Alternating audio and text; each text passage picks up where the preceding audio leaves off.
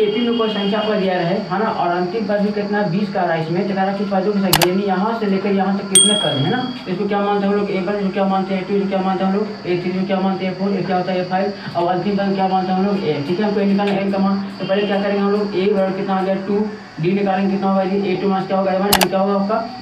दूसरा पद क्या करेगा? पहले पद घटेगा। तो कितना आएगा? चार माइनस टू कितना आएगा? दो आ गया। अब हमको अंतिम पद कितना दिया हुआ है?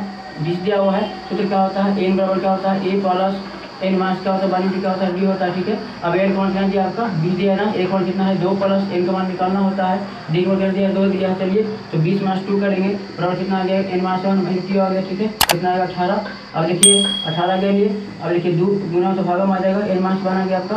कितना दिन अठारह। कितना आएगा? नौ। अब माइनस में क्या हो जाएगा? प्लस में एन इसलिए एन कितना आ गया? दस। यानी